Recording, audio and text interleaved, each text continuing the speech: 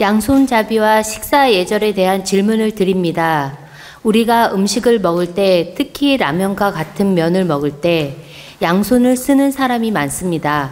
한 손은 젓가락으로 면을 먹고, 또 다른 손으로는 수저로 국물을 먹는 사람들을 양손잡이라고 부릅니다. 이렇게 양손을 쓰는 것이 편리함은 있으나, 왠지 품위가 떨어지는 것 같이 보이기도 합니다. 이렇게 양손을 사용하는 것이 득이 되는지요? 또 식사를 할 때 발을 꼬고 먹는다든지 TV나 책을 보면서 먹는 행동은 괜찮은 것인지 궁금합니다. 또 식사 때 저희들이 알고 주의하거나 바르게 알고 있어야 할 예절을 가르쳐 주시면 감사하겠습니다.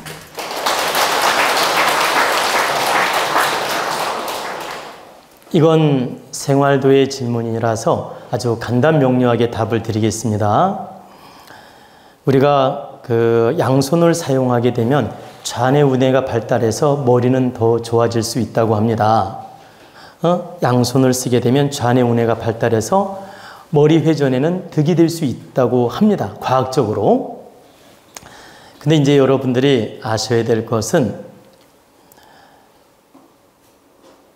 옛날에 우리가 아, 조선시대를 좀 예를 들어보겠습니다. 조선시대에 좀 아주 어, 하류층의 백성들, 하류층의 서민들, 아주 하류층의 사람들, 이런 사람들이 다리 밑에서 밥을 얻어먹거나 다리 밑에서 유숙을 하거나 어, 천민처럼 사는 사람들, 이런 사람들이 예의가 어디 있습니까? 어, 허겁지겁 손으로 먹고 이 손으로도 먹고 이 손으로도 먹고 어?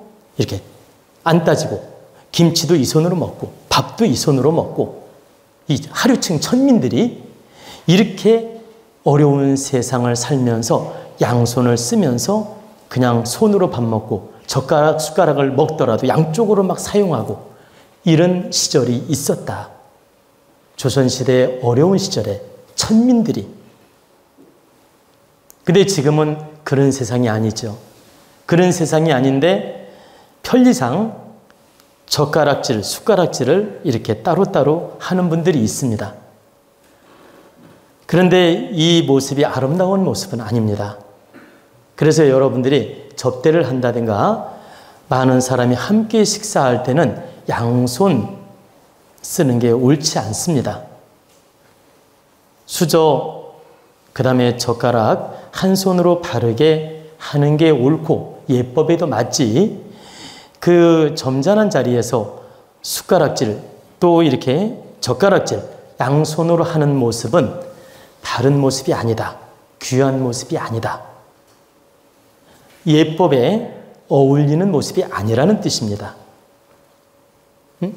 그런데 여러분들이 방편으로 혼자 라면을 먹든지 혼자 국수를 먹든지 혼자 밥을 먹을 때 양손을 다 써도 괜찮습니다. 내가 혼자 먹을 때 무슨 관계가 있습니까? 어?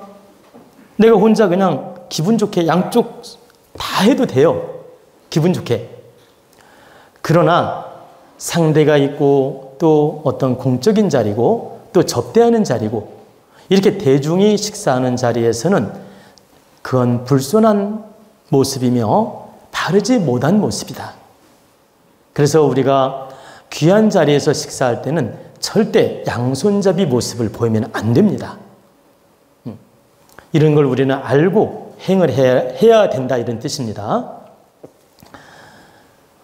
그리고 이제 우리가 식사할 때 즐거운 대화를 하는 분도 있고 밥 먹을 때는 꼭 싸우는 분이 있어요. 밥만 먹으면 싸워. 어? 말하다가. 근데 밥 먹을 때 싸우는 건 대단히 안 좋습니다. 어? 우리는 음식에는 좋은 에너지가 있습니다. 근데 밥 먹을 때 화를 낸다든가 막 불쾌하다든가 온성을 높인다든가 싸움질 하면서 밥을 먹게 되면 그 탁한 기운이 밥하고 함께 내 몸으로 들어오는 거예요. 탁한 기운이.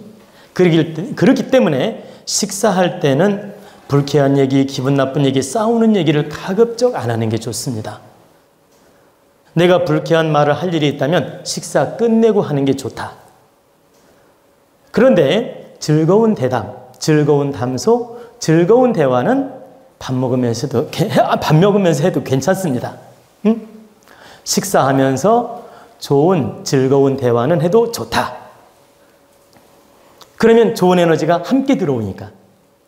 그래서 가족끼리 가벼운 대화, 즐거운 대화를 하면서 식사하는 건 좋다는 뜻입니다. 어, 그리고 이제 에, 식사하면서 다리를 꼰다든가 다리를 달달 떤다든가 어? 나쁜 습관을 가진 분들이 있어요. 밥 먹으면서 달달달 떨거나 이렇게 예, 좀틱 행동을 하는 거 있죠. 틱 행동. 이런 것은 옳지 않습니다. 어? 다리를 떠는 게 제일 나쁘고 뭐 손을 떠는 것도 나쁘고 어? 이렇게 틱 어떤 어, 틱 알죠? 틱 장애가 있는 것처럼 엉뚱한 행동을 하는 분들이 있어요. 그런 것은 좋은 습관이 아니다. 어. 그리고 이제 에, 식사하면서 부득이 급한 전화가 올 때가 있죠. 우리가 급한 전화가 그러면 이렇게 식사를 하면서 급한 전화가 오면 양해를 구하고 죄송합니다 하고 잠깐 나가서 받을 수 있어요. 그런데 그렇게 급한 전화가 아니거나 중대한 전화가 아니라고 느낄 때는 식사할 때는 가급적 전화를 내려놓고 식사에 집중하고 식사하는 게 옳은 방법입니다. 어. 그리고 특히 혼자 식사가 아니고 함께 나누는 식사를 할 때는 휴대폰을 좀 이렇게 무음으로 해놓든지 아니면 한쪽에다 잘 넣어놓고 식사에 치중을 하는 게 좋다. 어, 근데 식사하면서 계속 휴대폰 통화하고 식사하면서 계속 대화하고 식사 다 식을 때까지 휴대폰 대화하는 분이 있어요. 그건 예의에도 벗어나고 옳지 않다. 그런데 우리가 식사도 중요하지만 안 받으면 안 되는 전화가 가끔 있죠.